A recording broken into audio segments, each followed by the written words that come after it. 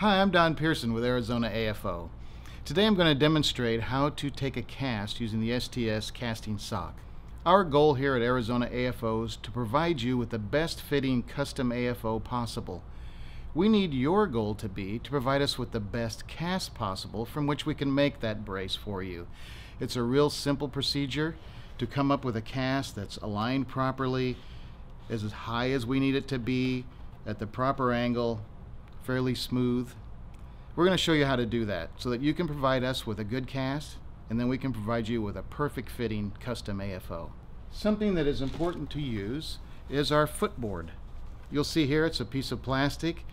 There's a 3 8 inch differential from the heel to the ball, which is in what most shoes are. So when the brace is put inside the shoe, it's at a 90 degree angle.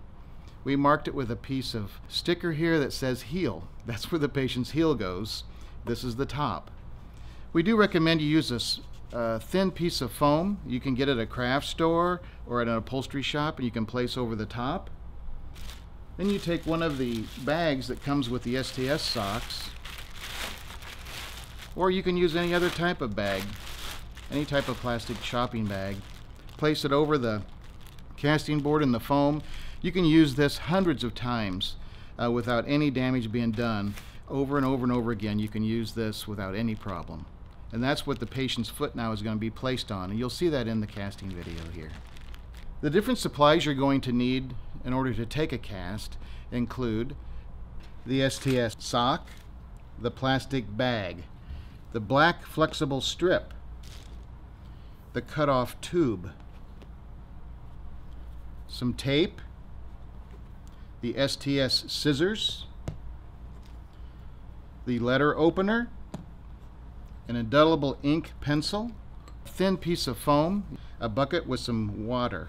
While the patient is now seated with their foot placed on the footboard, the first thing that you do is attach this black strip, have the patient hold the top of it, and I put the distal end of it right at the toe crease. This can be then taped onto the leg.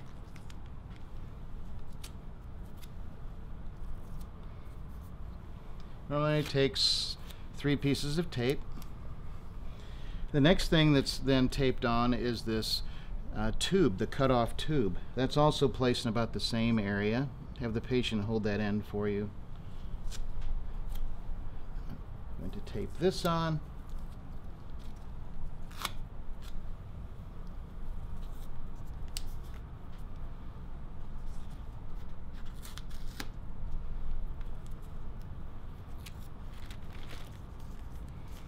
Like that. The next thing that's very important is the plastic bag that comes with the sock. This definitely needs to be used every time you use an STS sock. That goes next. This goes next to the patient's skin. It's extremely important that gets put on first before you'd apply the sock.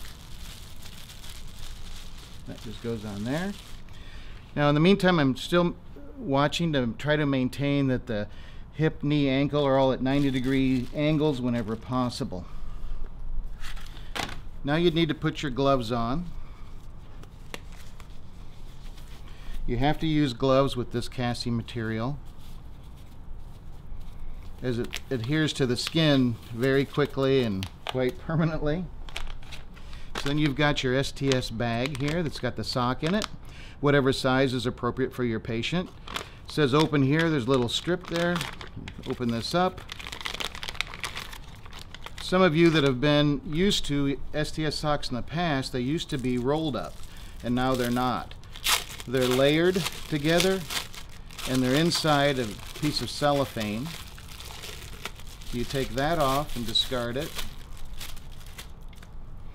Now you have to kind of unwrap this in a way where this is folded over like that.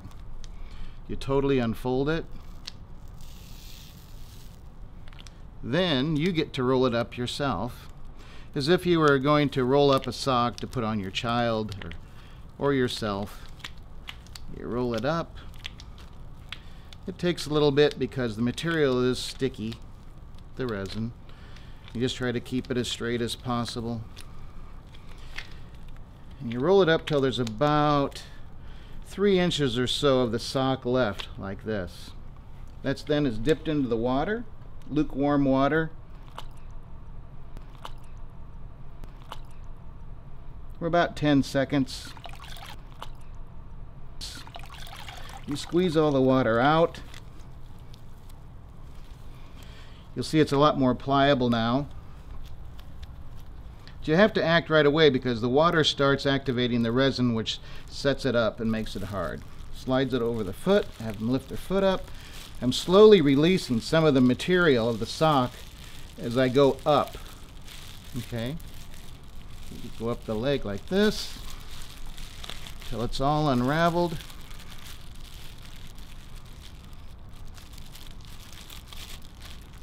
Like that. I normally rub this so it rubs the material in as it starts to foam up a little bit. Now I place the leg back on the footboard and here again I'm going to check to make sure my alignments are where I want them to be. Now you do a massage the sock to make sure that all of the resin is being uh, rubbed into the material. You can define the arch, the medial longitudinal arch, by making sure you contour that with your hand. Rub in behind at the calcaneus. And also, I run my fingers on either side of the, the cut-off tube so that I can tell where that's at exactly. As that starts to set up, something that's very important to do is to use your STS scissors and just snip a little hole at the bottom of this cutoff tube. Like that. You can tell where that's at. Then use my indelible ink pen. And I draw some lines across here. Just These are for my own reference, so I can tell when I go to put this back together again how to align it. Here again, I'm checking this to make sure because sometimes things will move and just to look and make sure the patient isn't moving around. They should sit up straight and not be bent over looking to see what you're doing so that you can maintain your proper alignment. It's always a good idea then to delineate any bony prominences or potential problem areas. This I normally mark the apex, you know, the malleoli so we can uh, build that up. Possibly the base of the fifth and the metatarsal heads. Also, any problem area that might be potentially an issue I mark. You can use this pencil then to tap on here. Once you can kind of hear that it's setting up like that, what you want to do is pull this white tube out. Just pull that out like that. What that does, and so you can tell it still leaves a channel of where that was in the sock. You still have your protective black strip on there that's going to protect the patient's skin from when you go to remove this. This is all real time, so it only takes you know, a couple minutes for that to set up. You then take your letter opener from Arizona AFO to do this. You place it down here at the bottom of that hole. Now I'm going to push towards this way and up and just go up the sock like this to cut that off. See how simple that was? Now I just open the sock up the rest of the way, meaning the bag, have them lift their leg up, remove the board, twist this off, pull the bag out, comes out real easily.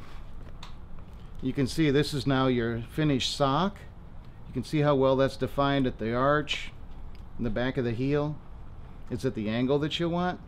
You can use some rubber bands to lightly put this around here to line those lines back up and make sure it's all closed up. Let it sit for a few minutes and it's ready to ship.